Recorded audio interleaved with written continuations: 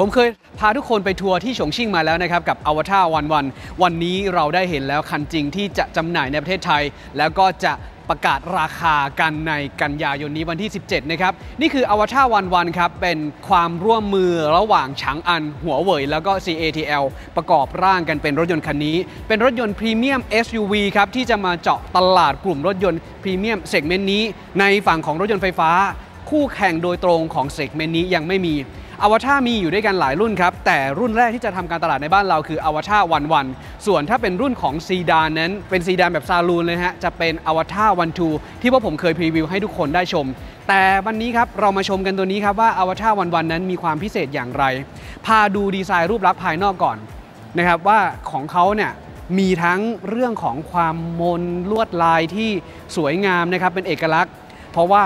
ผู้ที่ออกแบบและก็ทีมออกแบบรถยนต์คันนี้ครับ มาจากทีมที่ดีไซน์รถยนต์สายยุโรปครับ ไม่ว่าจะเป็นฝั่งของ BMW นะฮะ i8 ก็ดีไซน์มานะครับ และ BMW Series 7 นะครับ ก็มา นั่นคือหัวหน้าทีมในการดีไซน์ออกมานะ เราก็เลยเห็นว่าทำไมคาแรคเตอร์ของ Avatar 11 เอยของแบรนด์ Avatar เนี่ย มันไม่เหมือนรถจีนเลยมันฉีกออกมา นี่คือที่มาที่ไปนะครับ แล้วก็อีกอย่างหนึ่งผมพามาดูกันตรงนี้ก่อนว่า นี่โลโก้แล้วก็ชื่อนะฮะ หลายๆ คนจะสงสัยว่า Avatar นะฮะทำไมตัว A หายไปไหน แล้วมีเขียนแค่นี้ จริงๆ ชื่อแบรนด์ของตัวเนี้ยเป็นสับแบรนด์ของทางฉางอัน ฉางอันเราเห็นไปแล้วในประเทศไทยนะเขาทำแบรนด์ที่ชื่อว่า d p o l ที่มี d p o l SO7 กับ d p o l LO7 นะครับ ซึ่งทำงานตลาดในบ้านเราล้วตัวนั้นฮะแบรนด์เขาจะอยู่ในระดับ Entry นะครับ แต่ว่า Avatar เนี่ยก็จะสูงขึ้นมาอีกอันนึง ดังนั้นเรื่องของราคาเรื่องของคุณภาพตัวรถ Avatar จะหรูและก็สูงกว่า ที่มาของคำว่าอวตารนะครับก็มาจากคำว่าอวตารนั่นแหละอวตารคือร่างสอง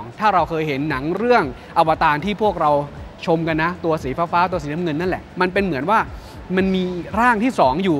ร่างหนึ่งเป็นมนุษย์ อีกร่างหนึ่งเป็นตัวสูงๆอะไอตัวอวตารตัวนั้นอะที่เราสามารถเข้าไปสิงได้ เขาเหมือนว่าเป็นโลกคู่ขนานกันนะครับ ดังนั้นทางฉางอันก็เลยบอกสื่อมาว่าในแบรนด์ของตัวเนี้ยเรามีความสามารถที่ซ่อนอยู่ เรามีอีกหนึ่งร่างที่ซ่อนอยู่ นั่นคืออวตารนั่นเองครับ ดีไซน์ที่เห็นอยู่ตรงนี้ครับ ดูโซนของไฟหน้ากันก่อนนะครับ ไฟหน้าตัวนี้จะเป็นไฟหน้า LED นะครับ จะเป็นแสงที่อยู่บริเวณโซนนี้ ส่วนไฟที่แสดงผลนะครับ พวกไฟสูงไฟต่ำจะอยู่บริเวณโซนนี้นะครับ ข้างหน้ามาพร้อมพวกเรดาร์พวกเซนเซอร์ต่างๆ ไม่ว่าจะเป็น ultrasonic sensor นะครับ พวกระบบกล้องหน้า พวกระบบที่จะทำงานช่วยการขับขี่มีมาให้เต็ม ถ้าหากว่าเราเคยเห็นรถที่พวกผม preview ในประเทศจีนเขาจะมี LiDAR มาให้ด้วย แต่ว่าเวอร์ชั่นในประเทศไทยจะถูกตัดออกนะครับ มาดูมิติตัวถังของคันนี้ก่อนนะฮะว่า Avatar one one นี้ขนาดอยู่ที่เท่าไหร่ ขนาดของ Avatar one one นะครับจะมีความยาวอยู่ที่ 4,880มิลลิเมตรครับความกว้าง 1,970มิลลิเมตรและความสูง 1,601มิลลิเมตรมีระยะฐานล้อยาวมากครับอยู่ที่ 2,975มิลลิเมตรเลยทีเดียว ถือว่าเป็น sizing ขนาดที่ค่อนข้างใหญ่มากๆเลยนะครับ คันนี้อวตารเนี่ยมันจะมีหลายสีนะ มีทั้งสีที่เป็นแบบ gloss คือแบบสีเงา และมีสีแบบ matte ที่เป็นสีด้านด้วยนะครับ เดี๋ยวผมจะขึ้น insert มาให้ เพราะว่าจะมีทั้งสีเขียวที่เป็นสีเฉพาะพิเศษของ Avatar one oneแล้วก็คันนี้จะเป็นสีดำเขามีสีขาวให้ดูด้วยนะครับ มาดูโซนนี้กันสักนิดนึงซุ้มล้อของเขาเองเนี่ยจะเล่นเป็นสีเดียวกับตัวรถเลยนะ อย่างคันนี้เป็นสีดำใช่ไหมครับ เป็นสีดำแบบประกายด้วยนะ ประกายแสงขึ้นมาแล้วก็เล่นสีเดียวกับตัว ล้อรถลงไปเลย เท่าที่ผมเคยเห็นบางคันเนี่ยเขาจะเล่นตัวเนี้ยสมมุติสีตัวรถเป็นสีขาว เขาก็จะเล่นสีนี้เป็นสีดำเขาจะทำให้เหมือนซุ้มล้อมันมีขนาดใหญ่ แต่ตัวนี้ด้วยความที่ล้อมันขนาดใหญ่ ล้อของอวตารจะมีให้เลือกอยู่ 2 ขนาดคือ 21 นิ้วและ 22 นิ้ว ขึ้นอยู่กับตัวรุ่นว่ารุ่นที่เราเลือกซื้อเป็นรุ่นแบบไหน ดังนั้นคันนี้ที่ผม พาทุกคนดูเป็นรุ่นตัวท็อปสุดนะครับ ขนาดล้อ 22 นิ้ว ความกว้างของหน้ายางอยู่ที่ 2 6 5 40 แล้วก็ R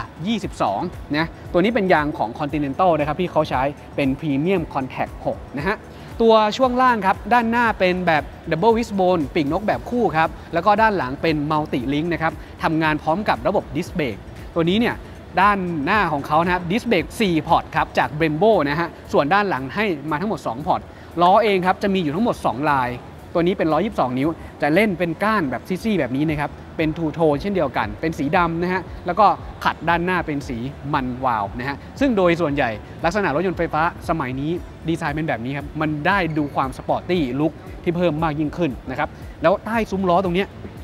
ที่ผมจับอยู่เนี่ยเอ้ยเขาบุวัสดุค่อนข้างดีเลยนะ เดี๋ยวเราต้องไปลองดูกันว่าตอนที่ขับขี่เรื่องของการเก็บเสียงนั้นจะเป็นอย่างไรนะครับ อะขึ้นมากันครับ นี่อย่างที่ผมบอกไปบริเวณข้างๆ ตรงนี้ครับถ้าเป็นในเวอร์ชันของประเทศจีนเขาจะมี LiDAR มาให้ เดิมทีจะมี 3 ตัว มีด้านข้าง 2 ด้านบนอีก 1 เป็น 3 แต่ว่าเวอร์ชันของประเทศไทยไม่มี LiDAR มาให้นะครับแต่มีเซ็นเซอร์พวกความปลอดภัยต่างๆ มีมาให้ครบเช่นเดียวกันนะฮะดูที่กระจกมองข้างครับฝั่งนี้ครับมีตัวกล้องอยู่บริเวณโซนนี้ครับ มี blind spot warning ครับ มีสัญลักษณ์ไฟตรงนี้เวลาเปิดปิดนะครับ แล้วก็ขอบเฟรมประตูนะฮะ ที่เราจะเห็นเขาจะเล่นเป็นสีโครเมียมตัดกับตัวรถทำให้คันนี้นอกจากดู sporty look แล้วยังมีความหรูหราด้วยนะครับประตูของเขาจะดีไซน์เป็นแบบราบเรียบครับ อันนี้เขาเปิดประตูขึ้นมานะ มือจับก็เลยเด้งออกมา และเขายังมาพร้อมระบบประตูแบบไฟฟ้านะครับ แล้วจะมีความกว้างที่เราสามารถเซตได้ ความเร็วในการเปิดเซตได้เช่นเดียวกัน แล้วตัวกระจกของเขาครับจะเป็นแบบ 1 ชั้น แต่ว่าเป็นกระจกหนานะครับ เป็นระบบแบบเฟรมเลสนะฮะ ก็จะทำให้มีความ สวยงามแล้วก็เท่ไปนั่นเองนะฮะเดี๋ยวผมลองปิดเข้าไปดูนี่ผมปิดไปนิดนึงปุ๊บปิดเข้าไปแล้วก็ประตูจะดูดด้วยนะครับเดี๋ยวผมลองยืนอยู่ตรงนี้ครับลองเปิดขึ้นมาดิ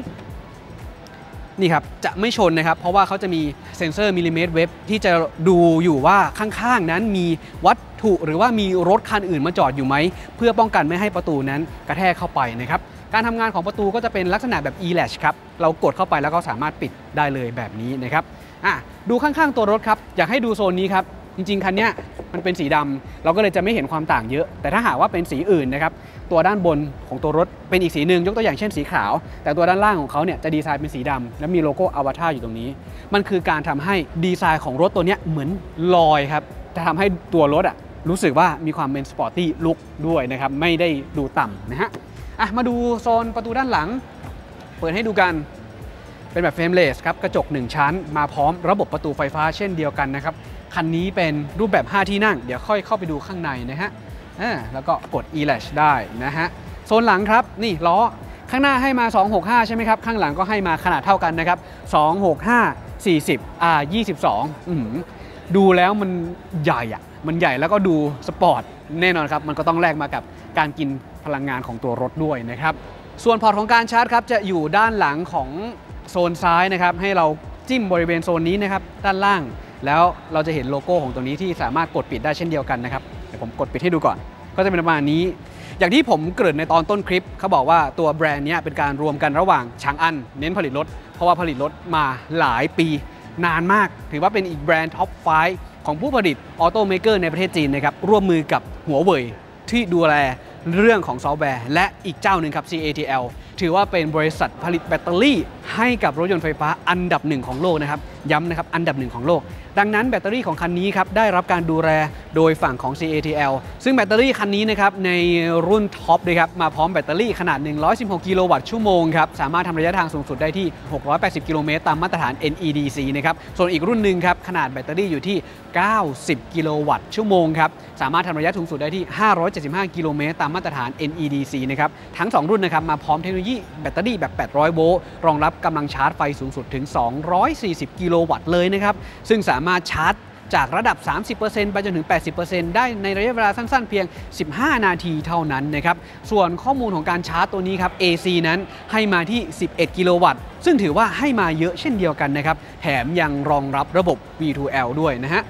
ส่วนตรงนี้นะครับก็สามารถปิดแล้วก็ไม่งั้นปล่อยไว้นานๆเขาจะปิดเองนะครับ มาดูโซนท้ายครับถือว่าเป็นไฮไลท์เช่นเดียวกันนะครับ โซนท้ายเนี่ย ที่เราจะเห็นนะฮะคือไฟท้ายที่เป็นดีไซน์แบบเส้นนะครับคาดยาวจากซ้ายไปขวาโลโก้อวตารอยู่ตรงนี้ ใต้ของไฟตรงนี้มีเล่นโครเมียมด้วยนะเพื่อที่จะแบบสะท้อนทำให้ไฟตรงนี้ดูเด่นขึ้นมาอีกหนึ่งระดับนะครับ มีโลโก้อวตารอยู่ตรงนี้ครับผม แล้วก็มีกล้องที่อยู่ด้านหลังด้วยนะฮะ แล้วมีแผงไฟอยู่บริเวณโซนนี้ด้วยนะครับ อีกอย่างที่อยากจะให้ดูครับ คือบริเวณโซนนี้ครับ ด้านหลัง ถ้าหลายๆ คนอาจจะเรียกว่ากระโปรงหลัง ทางฉางอันหรือทางอวตารเองเขาจะเรียกว่าเป็นเด็กนะฮะอยู่บริเวณด้านหลัง มีความแตกต่างกันอย่างไร ถ้าหากว่าเราดูพวกรถยนต์ SUV หลาย ๆ คัน ก็อาจจะเป็นกระจกที่ยาวจากด้านบนตรงนี้ครับมาถึงบริเวณด้านหลัง แต่ว่ากระจกของอวตารวันๆตัวนี้ครับเขาจะมีอยู่แค่นี้ครับแต่เป็นแนวตั้งขึ้นมานะฮะเขาต้องการที่จะสื่อว่าการดีไซน์ แบ่งกันระหว่างผู้โดยสารกับสัมภาระให้อยู่ในบริเวณส่วนนี้ ด้านหลังตรงนี้ที่สูงขึ้นมาเนี่ยเป็นตัวกล้องครับ ซึ่งตัวนี้จะใช้ดูภาพด้านหลัง แล้วก็ส่งตัวสัญญาณภาพเนี่ยไปที่กระจกด้านใน เพราะว่าตัวนี้ด้วยความที่กระจกตรงนี้มันเล็กครับเขาจึงอยากได้วิวนะฮะจากตัวกล้องนี้เอามาช่วยนะครับ อะมาดูในโซนของตัวนี้กันบ้างครับ นี่ฝาท้ายมาพร้อมระบบฝาท้ายแบบไฟฟ้านะครับ คือถ้าเปิดออกมาเนี้ยหลาย ๆ คนอาจจะนึกถึงรถยนต์ซีดาน ซึ่งมันอาจจะไม่ได้เปิดสูงแบบ d e p a u l S07 ของตระกูลของฉางอันเอง หรือว่าทาง Tesla Model Y หรือครั้งรุ่นอื่น ๆ ถ้าเป็น SUV ส่วนใหญ่เขาอยากจะเปิดสูงขึ้นขนาดนั้น แต่ว่าตัวเนี้ยจะมีพื้นที่ให้ประมาณนี้นะครับ แต่ว่าพื้นที่เก็บสัมภาระน่ะมีขนาดค่อนข้างใหญ่เลยนะ แล้วก็วัสดุเก็บค่อนข้างดีเลยนะครับ ก็ให้ดูกันประมาณนี้ มีความสูงก็สูงสุดได้ประมาณนี้ครับ ก็สูงราวๆนี้ครับตัวนี้ก็สามารถกดปิดได้ เดี๋ยวผมลองทำอย่างนี้ดิก็จะมีระบบป้องกันเช่นเดียวกันนะครับนะฮะเป็นโดยรวม overall ของการดีไซน์ภายนอก เดี๋ยวผมพาไปดูข้างในแบบเร็วๆกันครับ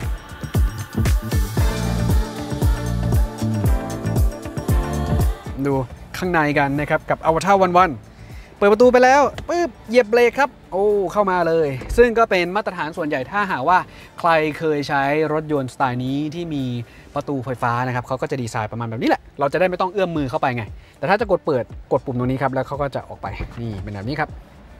e-latch ก็จะป้องกันการชนด้วยนี่บอกเลยว่าเข้ามาข้างในปุ๊บเราจะดู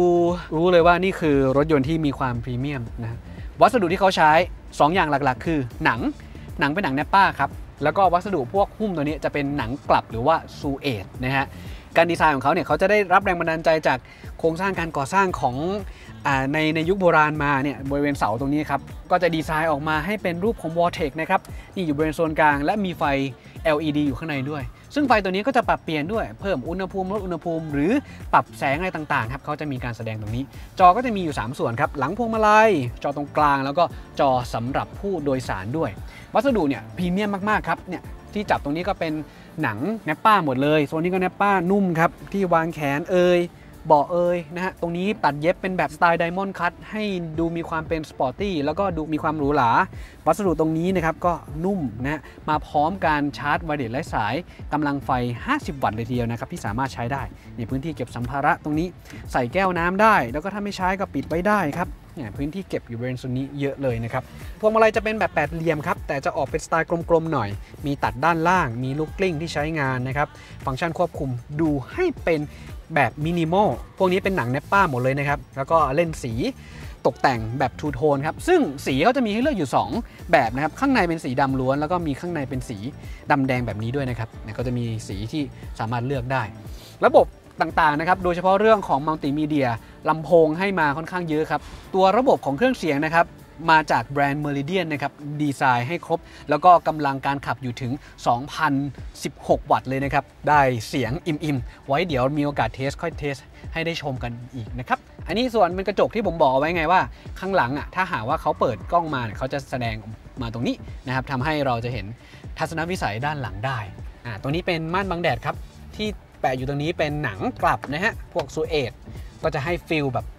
ฟินอะ feel หรูหราคือบอกเลยเข้ามานั่งปุ๊บจับปุ๊บรู้เลยว่าเนี่ยความแตกต่าง ราคานี่ก็ต้องรอลุ้นแล้วกันนะฮะผมว่าไม่ต่ำกว่าล้านไปปลาย หรือสตาร์ทอาจจะ 2 ล้านก็ได้นะครับสำหรับรถยนต์ sizing ของคันนี้ หลังคาเป็นหลังคากระจกครับ แบ่งเป็น 2 ตอน ตอนของข้างหน้าแล้วก็ข้างหลัง คันนี้มีการเคลือบป้องกัน UV มาให้ แล้วก็เคลือบสารโลอีแล้วป้องกันความร้อนได้ประมาณ 80%นะครับเขาไม่มีม่านมาให้ม่านไฟฟ้าไม่มีให้ครับ เปิดโล่งโปร่งๆเลย ด้านหลังเช่นเดียวกันครับ พื้นที่ขนาดใหญ่ โดยรวมเนี่ยจะให้พื้นที่ของหลังคามา 1.4 ตารางเมตรเลยทีเดียวนะฮะก็ต้องบอกว่าอืมเดี๋ยวต้องมาวัดกันนะ วัดใจกันในประเทศไทยจะเป็นยังไง ร้อนตลอด 12 เดือนเอาอยู่หรือเปล่า เรื่องของฟิล์มเนี่ยติดเพิ่มได้ไหมมีผลต่อประกันหรือเปล่า ยังไงเดี๋ยวเรารอดูกันอีกทีหนึ่งเนาะอ่าดีไซน์แบบนี้เท่าที่ผมเห็นนะผมนึกถึง Tesla Model X ที่เขาจะมีก้านนี้ออกมานะฮะก็สวยงามนะก็ดู เรื่องความร้อนนี่แหละเดี๋ยวเราไปทนเอาแต่ว่าเรื่องของทัศนวิสัยในการมองนะ มันเป็น SUV อยู่แล้วอะพื้นที่ขนาดใหญ่ ก็น่าจะช่วยให้การขับรถได้ง่ายมากยิ่งขึ้นนะครับอื่นๆครับ พวกระบบของซอฟต์แวร์เองได้รับการดูแลโดยหัวเว่ยแน่นอนว่าหัวเว่ยเป็น top three ผมเรียกงี้ดีกว่า ถ้าเป็นในเรื่องของระบบ Autonomous Driving System พวกการขับขี่อัจฉริยะนะครับ ฟังก์ชันที่โดดเด่นของคันนี้คืออะไรยกตัวอย่างเช่น ระบบช่วยจอดอัตโนมัตินะครับ ที่เราขับไป เราเคยเห็นใน X เผิงใช่ปะลักษณะจะมีประมาณแบบนั้นครับ ใช้เซ็นเซอร์ต่างๆ ดูพื้นที่นะครับไม่ว่าจะเป็นการถอยจอดเข้าซองถอยขนานนะฮะก็สามารถทำได้แบบง่ายๆ แล้วก็เขารองรับฟังก์ชัน remote parking ด้วยนะ ยกตัวอย่างเช่น ถ้าหากว่าเราเห็นแล้ว เราอยากจะสั่งรถให้ไปจอดอยู่ตรงนี้ หรือว่าลงจากรถแล้วก็สั่งจากมือถือให้เขาไปจอดก็ได้เช่นเดียวกันนะครับแอปพลิเคชันมือถือก็ถือว่าทำได้ดี นอกจากนั้นในฝั่งของแอปมือถือเองเนี่ยเขายังรองรับตัว key phone ด้วยนะ ใช้มือถือเป็นกุญแจแทนด้วยเช่นเดียวกัน แต่จะแชร์ได้ไม่ได้ยังไงก็ต้องรอดูอีกทีในอนาคต แต่บอกเลยว่าฟังก์ชันต่างๆ พวกระบบช่วยขับตัวเนี้ยถือว่าให้มาไม่น้อยนะครับอะให้ดูกันว่าเป็นยังไงบ้าง แต่โดยรวมปุ๊บเนี่ยถือว่ามีความสวยงามแล้วก็รูปแบบการตอบสนองการทำงานค่อนข้างดีในฟังก์ชันนี้ถ้าเป็นในรถแบรนด์จีน อวตารถือว่าเป็นอีกเจ้าหนึ่งนะครับในเรื่องของซอฟต์แวร์ที่ให้มาดีนะครับ ส่วนฟังก์ชันอย่างเช่นพวก App Store นะครับที่มันจะมีเข้ามาให้สามารถติดตั้งเพิ่มเติมได้ มีแอปใช้งานอย่างเช่นจุกนะฮะเป็นฟังเพลงออนไลน์ มีแดชแคมนะครับในการบันทึกการขับขี่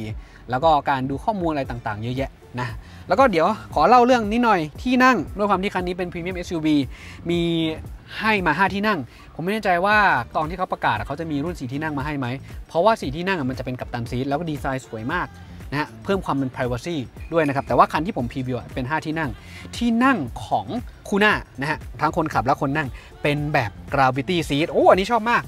เนี่ยฮะรองขามาให้นะครับ ปรับได้นะฮะอยากจะนอนเอนเนี้ยเราก็สามารถนอนเอนได้แบบสบายๆเลยเนี่ยครับก็ลอยๆแบบนี้เลยเขาเรียกว่า gravity seat นะครับคนนั่งก็มีคนขับก็มี และของคู่หน้าเนี่ย เบาะ ventilation seat เบาะเป่าลม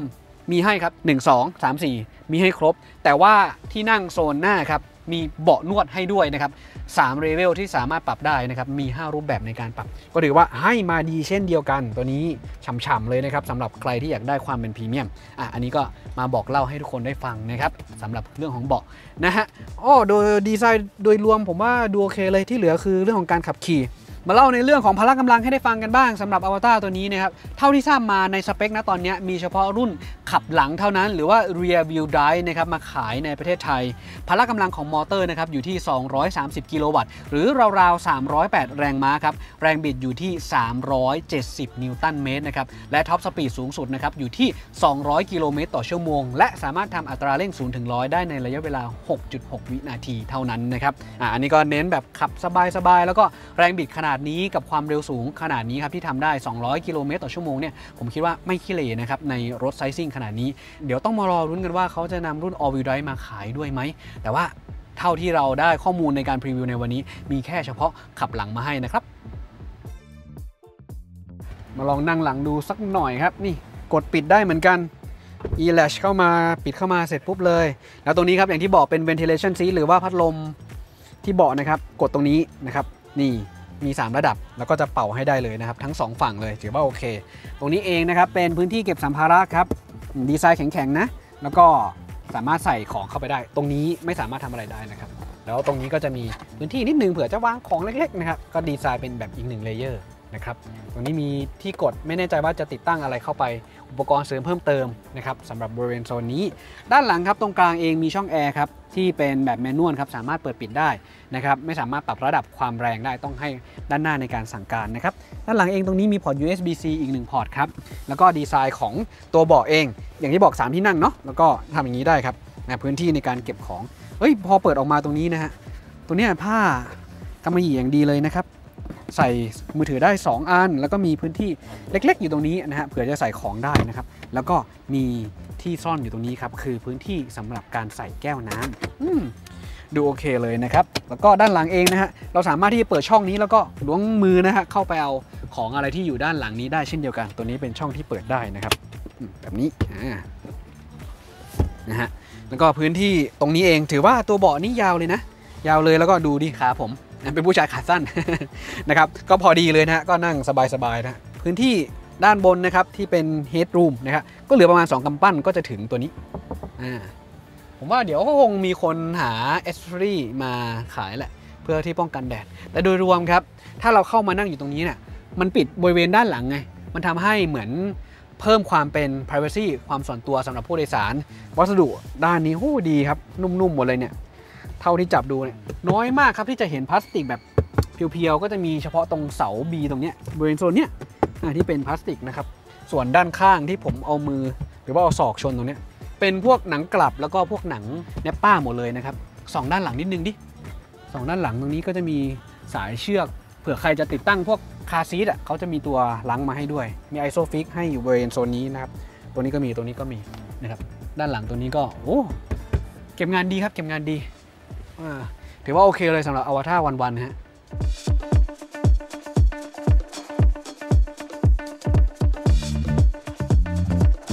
หน้าจอกันไวๆนะครับนี่ควบคุมตัวรถ แล้วก็โหมดการขับขี่จะอยู่ส่วนนี้นะครับโหมดการขับขี่เนี่ยเราสามารถที่จะมี 3 โหมดนะประหยัดสบายสปอร์ตแล้วก็กำหนดเอง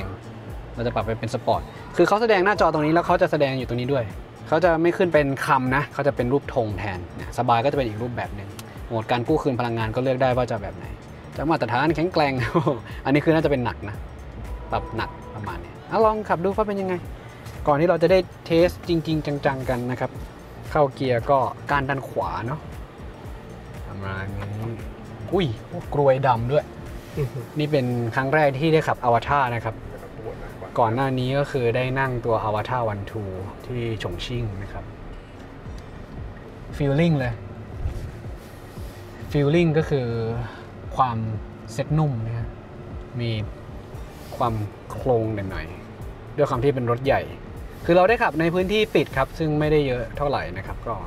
เดี๋ยวไว้ซัดกันจริง ๆ ตอนที่ได้ถนนใหญ่เนาะผมขับความเร็วสักประมาณ 20 แล้วก็วิ่งแล้วนี่อ่า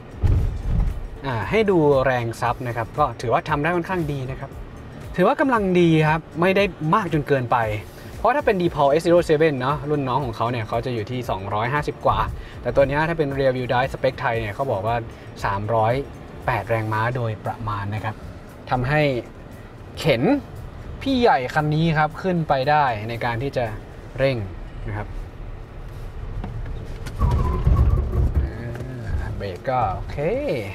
นะครับประมาณนี้ครับเป็นฟีลลิ่งประสบการณ์คร่าวๆในการลองขับอวตารวันทูครับ แต่ผมว่าเน้นความสะดวกสบายช่วงล่างเท่าที่ดูนะฮะก็ซับแรงกระแทกได้ค่อนข้างดี ไว้รอ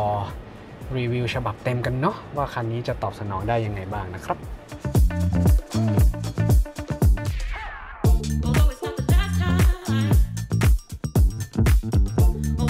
นี่นะครับก็เป็นพรีวิวคร่าวๆนะครับของ Avatar วันวันที่พวกเราพาทุกคนได้ชมรุ่นท็อปเลยนะครับก็จะมีนิดๆหน่อยๆที่ผมพาไปลองขับแบบเป็นประสบการณ์นะครับบอกเล่าก่อนที่เราจะได้ขับขี่จริงกันในท้องถนนจริงนะครับ เดี๋ยวรอชมกันนะฮะหลังจากที่พวกผมปล่อยคลิปนะครับพวกคุณน่าจะได้ทราบกันแล้วว่า ราคาที่เขาเปิดนะครับของ Avatar วันวันทั้ง 2 รุ่นนั้น ราคาอยู่ที่เท่าไหร่ยังไงก็คอมเมนต์พูดคุยกัน ถูกใจกันไหมตามที่คาดหวังชอบหรือเปล่าสำหรับรุ่นนี้นะครับยังไงถ้าใครสนใจก็สามารถไปสั่งจองหรือว่าไปทดลองขับกันก่อนได้ครับ ถือว่าคันนี้เนี่ยเป็นอีกหนึ่งคันครับที่มี potential เพราะว่ามาเจาะกลุ่มตลาด SUV Premium ไฟฟ้านะครับเป็นอีกหนึ่งแบรนด์ในเครือของฉางอันที่เขานำเข้ามาในประเทศไทย รอรุ้นกันว่ารุ่นต่อไปจะเป็นอย่างไรนะครับ แต่รุ่นนี้บอกเลยว่าเป็นอีกหนึ่งคันที่น่าสนใจมาก ๆ นะครับ ฝากไว้เพียงเท่านี้ครับผมกับการพรีวิว อาวตารวันวันครับ เดี๋ยวถ้าหากว่าได้รถคันจริงมาทดลองขับเมื่อไหร่ เราจะทำฟูลรีวิวให้ทุกคนได้รับชมกันนะครับ ฝากกดติดตามที่ช่อง i m o Official ของพวกเราด้วยนะครับ ติดตามข่าวสารอื่นๆ รถยนต์ไฟฟ้ารุ่นอื่นๆ รวมถึงเรื่องของเทคโนโลยีด้วยนะครับ